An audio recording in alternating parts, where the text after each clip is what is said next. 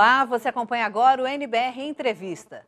Quem sacar no caixa eletrônico cédulas danificadas por dispositivos antifurto que deixam as notas manchadas de rosa pode ser ressarcido imediatamente pelo banco sem precisar comprovar o saque. É o que determina a regulamentação do Banco Central de 9 de junho, mudando normas anteriores. Existem 150 mil caixas eletrônicos em funcionamento no país e o Banco Central calcula que cerca de 75 mil notas manchadas estejam circulando no mercado. Por isso, a dica é não receber nota suspeita. Sobre esse assunto, eu converso com João Sidney, chefe do Departamento do Meio Circulante do Banco Central. Obrigada pela sua presença. E por que foi adotado esse sistema antifurto, é, esse sistema de notas manchadas? É, isso, na verdade, foi também decorrente de uma solicitação. É, início do mês de maio, fomos procurados pela FEBRABAN, que nos apresentou é, que já vinha, já vinha sendo utilizado é, por algumas instituições esse dispositivo. Com que finalidade? Para inibir o, os ataques que, como todo mundo acho que tem é, observado, né, tem aumentado muito sobre os terminais de autoatendimento. Né? Uhum isso, explosões e, e, aquela coisa toda de violência, inclusive postos de gasolina, eh, riscos muito grandes em relação a isso. Então, é, é, os bancos adotaram esse dispositivo e solicitaram ao banco para tratar da, da regulamentação disso. Bom, muito bem, o Banco Central, quando foi tratada essa questão, tinha que olhar a questão das notas da perspectiva da circulação de notas danificadas, porque nós não tratamos de dispositivos de segurança, essa, essa não é uma seara que compete ao banco, há uma lei que trata disso, mas a questão de circulação de notas danificadas, isso com certeza é atribuição do Banco Central. Então fomos buscar a legislação e a nota já danificada, já de uma lei desde 93, já impõe que notas com marcas, rabiscos, uma série de coisas, elas já perderiam o seu curso legal. Né? Então só serviriam para ser trocadas. O fato é que essas notas, uma vez que estavam sendo manchadas por dispositivos antifurtos, elas, se pudessem ser identificadas, seriam notas produtos de roubo. Então, essa foi o espírito da regulamentação. Então, uhum. é, foi divulgado e o Banco Central estabeleceu basicamente que se você não deve receber uma nota dessa, com essa característica, porque ela provavelmente é produto de roubo. E, e esta medida, ela estava alinhada com a necessidade de você ajudar também, de alguma forma, a inibir os ataques que vinham ocorrendo nesses caixas de autoatendimento. E o dispositivo, como é que é? Vai, se, se a pessoa tenta explodir, o ladrão tenta explodir, imediatamente a, a, a, tinta é jogada, é esse tipo de dispositivo? É, assim, não sei se eu, as pessoas têm mais ou menos uma ideia de como é que funciona, mas dentro desses, desses terminais existem gavetas né, com quantidade de notas que são dispensadas é, mediante a sua solicitação de saque. Então, é, esse dispositivo ele funciona acoplado a essas caixas que estão com as notas. Se houver tentativa de violação ou arrombamento, ele dispara e mancha todo o dinheiro, é, no caso com essa tinta é, que, cuja cor é rosa característica. Né? Agora, muito cidadão, né, é, muitas pessoas tiveram problema é, de, de, sacar né, no caixa eletrônico e viu uma nota manchada. Isso é um erro no dispositivo? Por que, que veio essa nota? É, o, o, o que nós temos informação é basicamente o seguinte, pode ocorrer às vezes um disparo acidental, né? então é, vai acontecer de você ao tentar sacar, pode ter uma nota manchada ali. Né? É, neste caso, se o cliente tira uma nota, ele está sacando da sua conta corrente, então, ele deveria sacar uma nota de boa qualidade. Então, ele tem prontamente a possibilidade de ter essa nota é, substituída.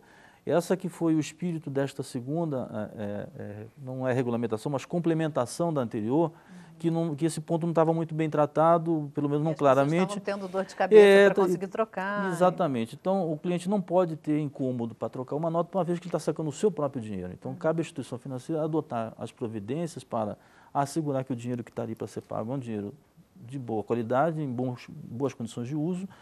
Caso contrário, se não, ela tem que ressarcir o cliente prontamente. Então, o cliente, se tiver esta situação, que, diga-se de passagem, não é numerosa, tá? não, não temos registros é, é, de, de, casos muito grandes, mas todos os que ocorreram depois dessa regulamentação estão sendo prontamente é, ressarcidos ao cliente, ele só tem que apenas se identificar no caixa, porque os bancos têm toda a condição de ter o seu histórico de operações e, e, e também sabe que hora que fez o saque, enfim, hoje está tudo Está registrado, é, tá tudo registrado. No então, sistema não... É, então não, não tem por que você... Tem que é, comprovar. É, exatamente. A pessoa não tem que levar o extrato comprovando o saque, não, não, não tem que ter mais aquela filmagem da pessoa sacando, não, de modo, nada alguns disso. bancos têm condição e o princípio de boa-fé é, é, o que está sendo aplicado. Em princípio, se você é um correntista, teve uma situação como essa, pelo, pelo seu relacionamento com o banco, não tem sentido você duvidar, então pague-se prontamente. Claro que não. Agora, algumas dessas notas podem ter sido colocadas por engano por próprios funcionários que vão repondo ali o dinheiro. Isso e aí é tem uma, que ter um, um maior cuidado do banco Isso também. é uma possibilidade e, e, exatamente por isso que a responsabilidade é dos bancos de ressarcir prontamente. E neste caso aí tem uma, uma, uma, uma penalidade. Estas notas que os bancos é, é, inadvertidamente colocaram, o Banco Central as recolherá e não haverá ressarcimento e eles vão cobrir o custo, inclusive, de análise e de reposição dessas notas. E esse, esse cálculo, essa estimativa né, de, de uma quantidade aí grande de notas manchadas circulando no mercado, em, em Olha, função é, do é, quê? É, é, assim, a gente tem que tomar um certo cuidado. Você citou o número 75 mil, que foi uma estimativa feita por nós, é, de que foram notas subtraídas daquelas que foram tiveram um arrombamento nos últimos meses. Né? Mas não necessariamente essas notas estão em circulação, elas podem estar ainda na mão dos, dos, dos, das pessoas que praticaram o crime, né? que podem estar tentando passar. E aí talvez venha o ponto mais importante dessa questão, que é as pessoas terem agora é, um, cuidado adicional, na verdade, né? se, já, se, você já conferiu o seu troco ou até verificava a nota é, contra a sua legitimidade, agora repare se não tem lá uma mancha, é, uma coisa que é muito característica, ela não é uma, uma, uma, não vai confundir risco, rabisco de caneta. É mancha rósea. É, exatamente. Tem no site do banco um, um, as, as, fotos, né, www.bcb.gov.br, você, vai lá, dá, dá, uma olhada. Aquela característica é, pode ser suspeita. É importante você eh, não aceitá-la, né, isso é fundamental, porque senão é, é, você, você vai estar com uma situação que você não vai conseguir passar ela adiante, né? E você também tem que apresentá-la ao Banco Central, para, ao banco, na verdade, aos bancos comerciais, que vão encaminhar ao Banco Central para análise e, eventualmente, Lúcia, pode não ser uma nota produto disso, pode ser um acidente, um, um sei lá, um, esmalte, uma outra coisa que coincidentemente tenha, e neste caso o cliente será ressarcido, não haverá perda. Hum. Agora, se eu sacar, por exemplo, num, num caixa 24 horas, que não é né, o caixa do banco específico, uhum. o meu banco também tem que repor? Necessariamente, porque... Eh, a responsabilidade sim, de qualquer saque de um sempre, cliente do banco sempre, é, é, do banco. Até porque quando você vai nesses terminais de 24 horas, o que você está fazendo, ele tem acesso online na tua conta, né? Não sei se vocês uhum. têm hábito de, de, retirar, mas você vê até a tela do seu banco. Então, naquele momento, você está conectando o seu banco, até porque eles não vão te pagar se, você não tiver saldo Sim. na sua conta corrente. Com então, certeza. Se os bancos são cuidadosos a esse ponto, eles são cuidadosos em registrar também todas essas informações das operações. E todos os bancos adotaram esse sistema?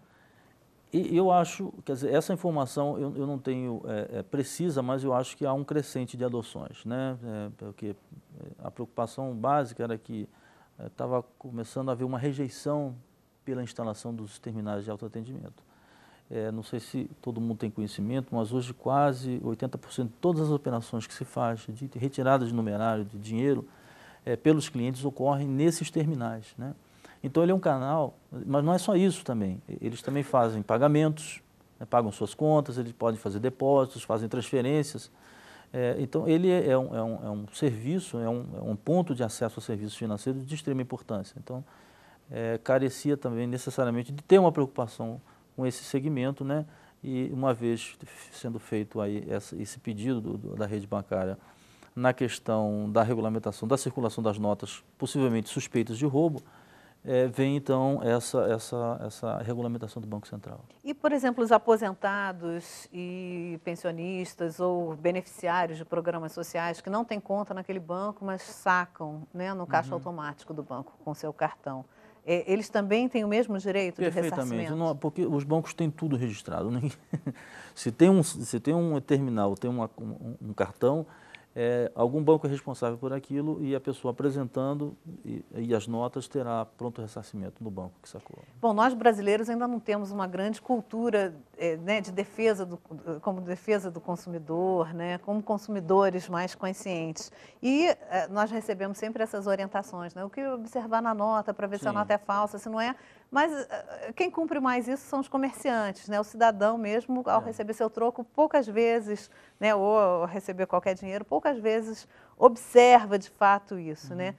Então, vale lembrar qual a importância da gente observar isso e as dicas que já existem. É, o, o, aspecto, o aspecto que você comenta, ele é muito importante, eu diria assim, é, desde aí a estabilidade do real, 94, que acabou com a inflação, né, e o dinheiro nosso manteve o poder de compra, ele passou a ser um, um dinheiro muito valorizado. Né? É, inclusive, é, ele agora está sendo aceito até nos países fronteiriços do Brasil. Então, o real é uma moeda forte. Né? E por ser uma moeda forte, então, é, a, talvez a gente não tivesse se habituado no passado a isso, mas é, faz parte da cultura de países com moeda forte a, a, a verificação do seu dinheiro. Por quê? Porque ele pode ser é, objeto de, de falsificação, né? pode ser também objeto de, de, tentativa de roubo, furto, porque esses sistemas que mancham dinheiro, ele, isso não é uma novidade do Brasil, isso é já adotado desde o final do século passado, vamos estar falando mais de 10, 15 anos é, em países europeus e da América do Norte, como uma forma bastante é, é, é, é que contribui muito para a redução desses ataques. Né? Então, o Brasil, na verdade, ele se alinha nessa, nessa questão a, a, a, a uma tendência de moeda forte, moeda forte Sim. é muito cobiçada. Então, aí, voltando à sua pergunta inicial, vale a pena agora prestar atenção no seu dinheiro, necessariamente. Né? As falsificações é, também vão se aprimorando né, ao longo do tempo. Pois é, isso é, um, é, é uma preocupação permanente dos bancos centrais, né? e por conta disso, o dinheiro nosso, o, a primeira família de real lançada em 94, ela tem elementos de segurança que a gente pode verificar e facilmente reconhecer, né? Vamos então lembrar um pouco, Sidney? Vamos, vamos. Pegar, eu, eu, tenho umas notas tem aqui. Tem algumas você, notas, você pode se, com certeza. lembrar algumas é. coisas que a gente tem que observar? Tem, e deixa eu comentar duas questões. É, por, por causa dessa manutenção do poder de compra, passou a ser cobiçado por falsários. Né? Então, acho que tem, tem três pontos que são fundamentais em relação a isso. É, você não precisa, em princípio, de nenhum, nenhum tipo de, de equipamento é, a visão e o tato são suficientes. Então, a primeira questão é o tato. Né? As notas têm é, um papel diferente, encorpado, um papel é, robusto. Por favor, vamos lá, pega uma lá e vamos, vamos nós dois aqui é, verificar. Então, aqui onde está escrito Banco Central do Brasil, né? aqui, uhum. exatamente aqui, Sim. você tem um relevo, se você passar, você tem a sensação de relevo. Sim. Né? É, assim como também tem aqui no numeral, no rosto da efígie, nessa região aqui que, os, que as pessoas gostam muito de, de fazer verificação, mas que tem que tomar algum cuidado que já tem falsificador tentando simular isso, mas obviamente que não consegue. Então, já tem, tem um atrito. Assim, já, já tem. Então, esse, esse relevo é muito importante, tá? O papel, o relevo, então esse é o tato, né? A segundo, o segundo elemento que eu acho que é fundamental é a marca d'água. Olhando a nota contra a luz, a gente vai encontrar lá a efígie da República, no caso das notas de 100. Sim. É, nós temos o mico-leão dourado aqui, é, mais o numeral 20 nas notas de 20. E a, a marca d'água é bem nítida, né? Muito Uma coisa... Eles até tentam simulá-lo, é importante ressaltar isso, mas é, eu, eu, sugiro, eu sugiro né, que as pessoas olhem atentamente uma nota, né, porque a simulação é grosseira. Geralmente não, não, não consegue... Da marca d'água. Com certeza. É uma mancha grosseira. É uma mancha grosseira, tenta simular, mas não, não consegue. Então, a marca d'água, a textura do papel, a impressão em relevo, acho que são elementos fundamentais que 99% dos casos que nós temos, ele não consegue fazer essa... E aí, quer dizer, a observação é a mesma em todas as notas, em seja todas de 10 notas, reais, 20... A de 20 tem agora... Tem essa barra, né? Tem essa faixa holográfica. Uhum. As notas de 50 e 100 reais da nova família agora tem faixa holográfica. É, e, portanto, está muito mais fácil de reconhecimento pelo cidadão. Né? Uhum. Então, temos que ter atenção na questão do reconhecimento. Então, recebeu o dinheiro. Bom, ah, eu não conferi. É bom conferir. É, é, não que a falsificação de fato no Brasil ela não é preocupante, não tem níveis preocupantes, mas pode acontecer. Né? Ano passado nós tivemos é, 400 mil notas falsas é, apreendidas, né? o que pode significar é que uma quantidade de pessoas que teve uma perda, porque dinheiro Uhum. falso não é reembolsado também. Então, Sim. vale uma, uma atenção sempre a, a esses elementos de segurança. Bom, para encerrar, Sidney, é, vamos falar um pouco da importância de- da gente cuidar né, da- do dinheiro, cuidar das cédulas Sim, e de sim. fazer circular também as moedas. Muito legal. Isso porque é, um- uma das coisas que, uma das grandes despesas do Banco Central está na questão da produção de notas novas. Né? É, geralmente a gente troca aí é, em torno do, do que se encomenda anualmente, 80% é para repor notas que são substituídas por desgaste. E um percentual razoável delas, em torno de quase 20%, são notas rabiscadas, rasgadas, é, é, enfim, é, manchadas e, e por conta de talvez um descuido. Então, é, cuidar do dinheiro tem dois aspectos importantes. Você ajuda a reduzir a despesa pública, porque no fundo isso quem paga é a própria sociedade, né? É, é, e também você mantém o dinheiro com uma boa condição, que é meio que imagem do país. Nós vamos ter aí nos próximos anos muitos eventos internacionais em que o Brasil vai ser muito visitado. Então, é, Rasgar um- dinheiro o ninguém, nosso, ninguém um dos rasga, nossos mas cartões de visita tem que ser um, Aham. um dinheiro de boa qualidade. E a outra questão, que também, se você me permite, é falar das moedinhas. Né? Eu, eu- não sei se todos têm porta-moeda, mas às vezes a gente sempre repara muita queixa de falta de troco. Né? É, o Banco Central tem produzido por ano quase 2 bilhões de moedas em, em unidades, já tem quase 95 moedas por habitante. Mas se você perguntar quem tem essa quantidade na mão, quase ninguém tem. Então, muita gente tem seu cofrinho. é, em tem o seu cofrinho. Então, a, a- a gente tem a, a sensação, pelo menos isso está mudando um pouco, né? De que a moeda tem um caminho só. Ela sai do Banco Central, o, o comerciante tira ela para facilitar o troco, mas o cidadão recebe e leva para casa. E tem uma dificuldade de voltar, esquece muito tempo na gaveta, no cinzeiro, no cofrinho. Então, essa é uma atitude que, que de certa forma, é, se puder reverter um pouco, não esquecer muito dinheiro no cofrinho, a gente, é, é, de certa forma, contribui para não, para não é, é, ter que produzir novas moedas o tempo todo. Né? E, ao mesmo tempo, você facilita a- ali a relação com, com, com a loja que você está comprando algum objeto, facilitando o troco também. Muitíssimo obrigada pela entrevista. Eu conversei com João Sidney, chefe do Departamento do Meio Circulante do Banco Central, sobre regulamentação referente a cédulas manchadas.